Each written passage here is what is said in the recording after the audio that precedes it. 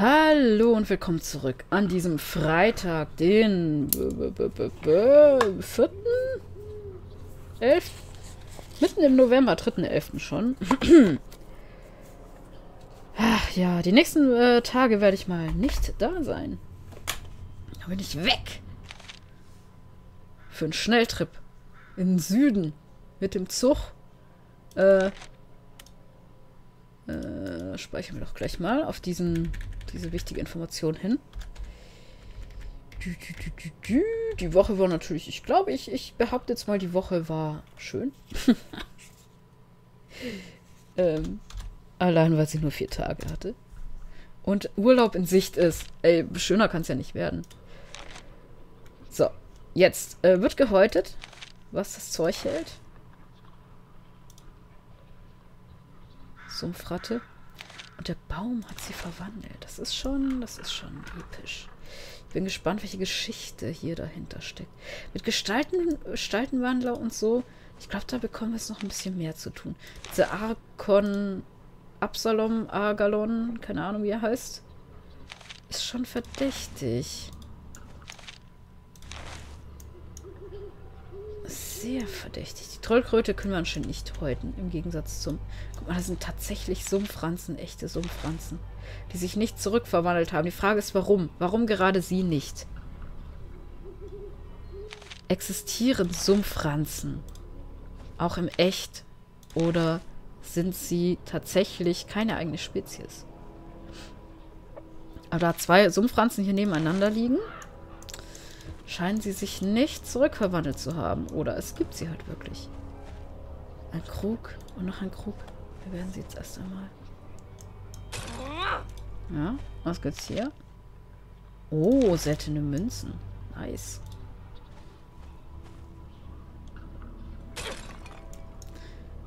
Ich wäre so gespannt, was passiert. Oh, das ist richtig gut. Was ist denn hier los für wertvoller Stuff?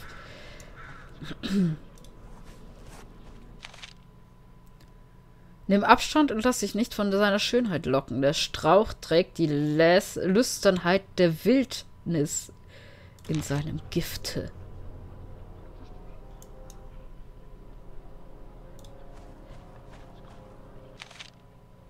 Ja, okay.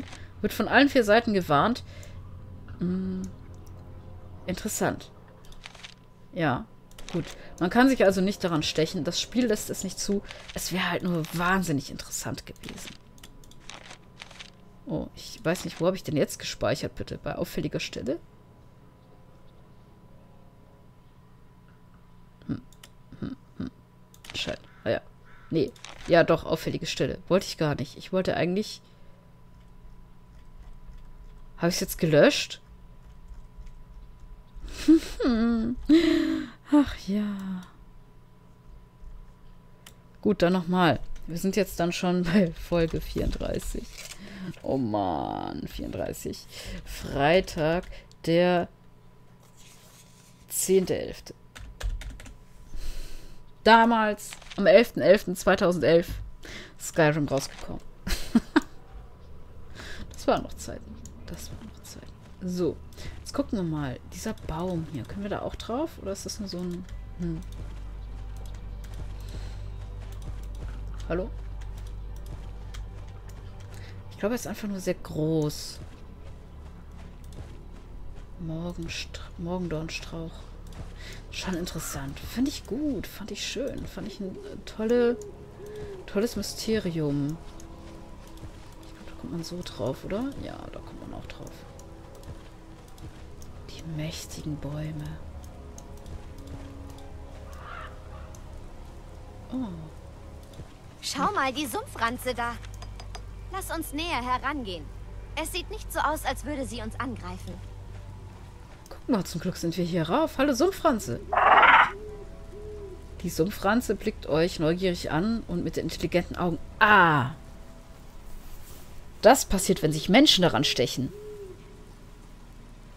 Dumm gelaufen, was? Ich werde ein Heilmittel für dich finden. Ah, müssen wir wohl mal mit den Elfen reden.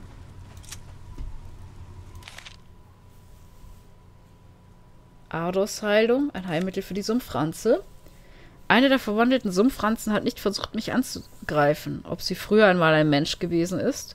Mit dem richtigen Mittel könnte ich ihr vielleicht ihre Gestalt wiedergeben. Die Sumpfranze hockt brav auf einem Baum und versucht und im versumpften Garten nördlich des Piratenlagers in der Nähe des Dornenstrauchs. Ähm, wahrscheinlich Eingang der Ruinen.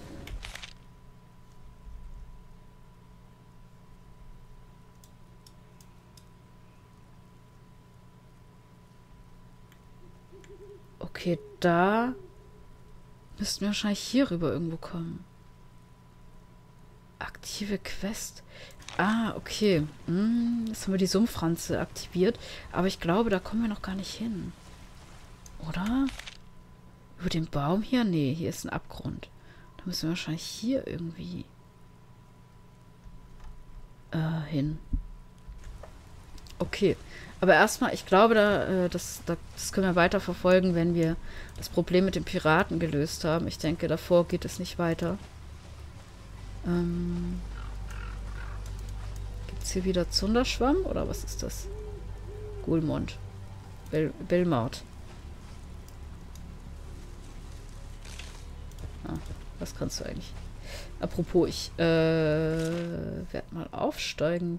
Was können wir denn hier ähm, steigern? Balsam Salabunde können wir um einiges maximieren. Finde ich gut. Clarum Purum vielleicht. Und dann haben wir auch keine Steigerungspunkte mehr. Alles klar. Ähm. Pflücken oder nicht pflücken. Zunderschwamm. Erneut. Ach, da.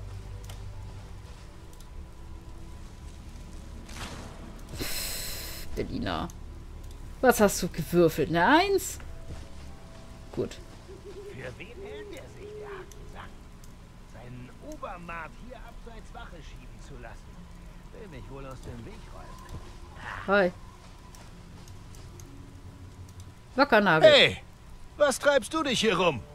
Ich kenne dich irgendwo her. Der sieht mir nach einem Hitzkopf aus, was sich hervorragend für unsere Zwecke eignet. Wenn wir Unruhe stiften wollen, ist Maat Wackernagel unser Mann. Wir wollen nicht Unruhe stiften, wir wollen Diplomatie verbreiten. Sag mal, ich red mit dir. Was willst du? Mit dem Captain sprechen? Verhandeln. Lasst mich mit dem Kapitän sprechen, bitte. Wenn's sein muss. Aber keine dummen Tricks. Sonst gibt's was auf die Nase. Da deine Nase weiß, wovon sie redet. Beruhige dich, Mann. Ich bin nur zum Reden hier. Keine Sorge, wir wollen nur spielen. Captain, Captain. Grinse, Hanno. Besser als Grinse, Henno. So, wen haben wir hier? Äh, Junge. Junge, warum hast du nichts gelernt? Was kommt denn da hereinspaziert? Schaut mal alle her! Da will wer uns armen Leuten seine Habseligkeiten spenden. Was ist mit deinem Unterarm passiert, guter Mann? Still, Flo. Du verfügst nicht über die Autorität, um zu entscheiden, wie wir uns Fremden gegenüber verhalten. Antonio. Welch überraschender Besuch. Die Zwölfe zum Gruße. Mit wem habe ich die Ehre? Hakensang. Dein Haken kann singen? In meinen Stimmbändern wahrscheinlich. Lassen wir das Geplänkel und kommen gleich zur Sache. Wart ihr es, die mir was über die Rübe Die gegeben Eile, haben? welche euch antreibt, lässt keinen Raum für gepflegte Konversation. Nun denn, wie ihr wünscht. Also wirklich. Wie wollen wir Palaver halten, wenn, äh, wenn wir keine Zeit haben? Das ist, Erlaubt mir nach dem Grund eurer Anwesenheit hier zu fragen. ich erlaube es. Er hier ist nicht so gewaltbereit wie die anderen Piraten. Das spüre ich. Ach, Er ist einer Verhandlung gegenüber bestimmt aufgeschlossen. äh, wie ist dein Menschenkenntnis? Gib vor, verhandeln zu wollen, damit wir hier frei agieren können. So haben wir zudem etwas in der Hinterhand, falls es dir nicht gelingt, meinen Plan umzusetzen. Ich will deinen Plan gar nicht umsetzen. Ich bemerke eure Begegnung mit den Elfen. Ich bemerkte, rein zufällig war ich vor Ort, und möchte eure einen Vorschlag unterbreiten. Interessant. Ich höre, Ich stelle mich als Vermittler zur Verfügung. In der Tat. Es könnte gelingen. Doch sprecht. Was sind eure Beweggründe? Was ist euer Bildungsstand, guter Mann? frage ich mich. Ihr sprecht so geschliffen.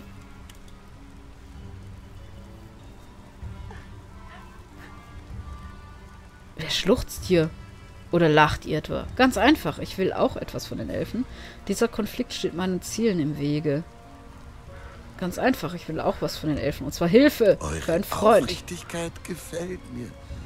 Sie ist dieser Tage selten geworden. Ihr sucht Aufrichtigkeit unter Piratenkapitän im Ernst?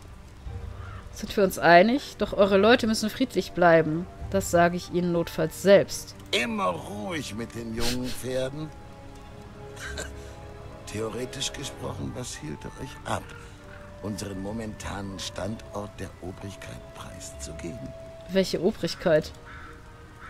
Nun, ihr natürlich. Mein Schiff liegt ungeschützt da. Ich werde nicht, den, nicht die Gelegenheit haben zu entkommen. Ich sehe, wir verstehen uns. Sprecht mit der Mannschaft, wenn ihr es wünscht.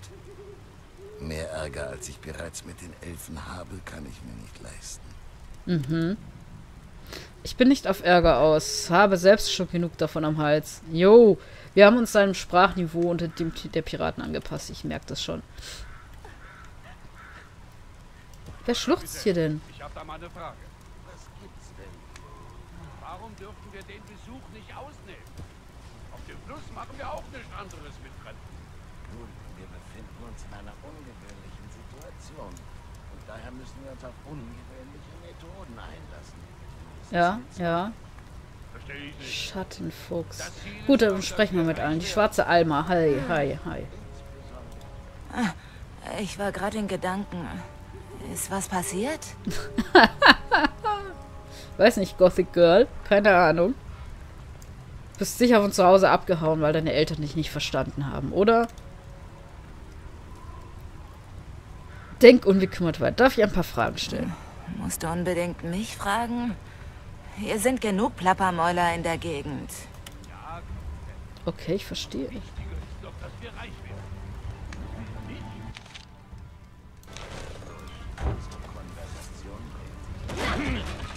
Es scheint mir sinnvoller, das Moment mal, ich höre immer nur Plan, aber es passiert gar nicht. Wir sitzen hier nur rum. Ist was? Ja, Läufer. Wenn ich das nicht Nee, wüsste. also das geht doch gar nicht. Das geht doch. Ich nehme an, du hast schon einmal im Schilf auf einen Frachtkahn gelauert. Zuweilen kommt nicht der Pirat zur Beute, sondern die Beute zum Pirat. Flo. mir nicht so auf die Pelle. Will nicht mit dir quatschen. Warum dürfen wir den Besuch nicht ausnehmen? Ah, Auf dem Fluss okay. machen wir auch nichts anderes mit Fremden. Spinnenjette. Hi, Jette. Hallo, Spinnenjette. Ahoi, Landratte! Ist was? Bist du beim Angeln, Spinnenjette? Was angelst du? Ahoi, ich segel mal weiter. Ich dachte, ich Das- wollte mit den Leuten hier Hä? reden.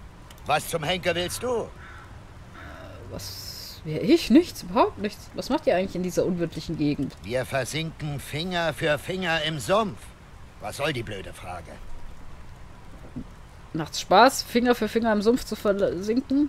Oh, man wird doch wohl noch Um fragen genau dürfen. zu sein, warten wir hier, bis der Herr Kapitän sich zu einer Vorgehensweise durchgerungen hat.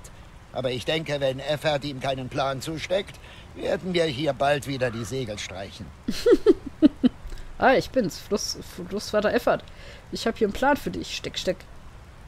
Das wäre zumindest ungefährlicher, als in einem Pfeilhagel der Elfen zu Dem geraten. Hakensang wird schon was einfallen. Ist doch sonst immer so ein Schlauer. Das Oder weißt du was, Priorität. was ich nicht Das weiß? ist wichtig. Mann, schau dir doch nicht. mal seinen? Gesichtsausdruck an. Ja, Mehr Kapitän. braucht man gar nicht wissen. Aber wichtiger ist doch, dass wir reich werden. Ist jetzt was? Kannst du mir was über die Gegend hier erzählen? An deiner Stelle würde ich nicht zu weit in den Sumpf hineingehen. Da kreucht und fleucht überall unangenehmes Getier. Ja, ja, da habe ich schon beseitigt. Was für Getier fleucht denn da? Morphus. Die Viecher sind wirklich eine Plage. Überall, wo wir hinkommen, sind sie schon da. Sei bloß vorsichtig. Okay, danke, ja, Läufer.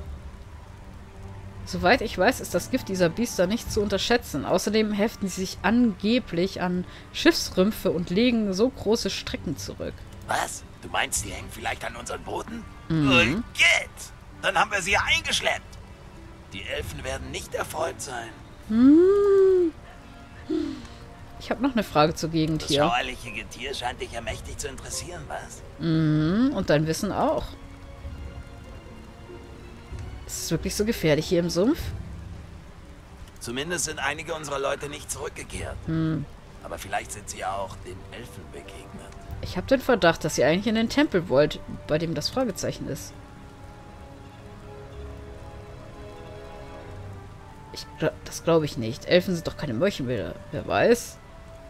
Das noch eine Frage. Getier scheint dich ja mächtig zu interessieren, was? Lagert ihr wegen der Tiere hier in diesen Na Ruinen? sicher. Ist auch ein klein wenig windstiller und weniger matschig hier, was? Besser versteckt und leichter zu verteidigen, sagt Hakensang. Mhm. Hakensamen. Das leuchtet mir ein. Unsere Konversation dreht sich im Kreise. Ja, danke für Sag die mal, Konversation, wollte ich gerade sagen. Na, ich würde sagen, er steckt irgendwo im Sumpf. Fest. Moment mal, ich höre Da ist er jedenfalls hin es und wiedergekommen ist er nicht. Wir sitzen hier Ah. nur rum. Vielleicht hat er auch einen Elfenpfeil in seinen süßen Hintern Oder bekommen. Spucki ist eine Sumpfranze äh, geworden. Das könnte doch auch sein. Na, wen weht denn da der Wind zu mir? Was gibt's? Bediener mit dem Hüftschaden ist so dürre. Sie kann auf jeden Fall geweht werden. Lasst uns doch eine, etwas ja, plaudern. spinnen wir ein wenig Seemannsgarn. Jo, der Schiffsjunge da hinten schaut so böse zu dir rüber. Den habe ich mal wieder kräftig aufs Korn genommen. Und jetzt steht er da und wirft böse Blicke. Aber wer sich nicht wehrt, bleibt sein Leben lang Schiffsjunge. So spielt das Schicksal. Hm. Krähe, was muss ich da hören? Unterlasse es umgehend über interne Angelegenheiten zu parlieren.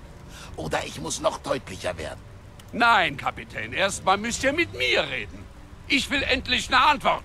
Ach, Flo. Thorsten spielte mit seinen Messern herum. Wie soll man durch Umsitzen Wenn du so tapfer daherreden kannst, dann geh ihn doch suchen. Na, und wenn ich dann Gut, wir speichern einmal und reden dann nächste Woche weiter. Ähm, interessant, interessant. Vielleicht können wir nächste Woche diesen Konflikt auch schon beilegen, ja, und dann mit den Elfen quatschen. Irgendwas ist hier doch im Busch. Wahrscheinlich wollen die eigentlich zur Ruine. Wünsche euch ein wunderschönes Wochenende. Ich werde da unterwegs sein, wie gesagt. Kommt gut an, wenn ihr auch unterwegs seid oder genießt euer äh, gemütliches Zuhause. Es ist November, was soll man da schon anderes tun? Bis dahin gehabt euch wohl, auf Wiedersehen.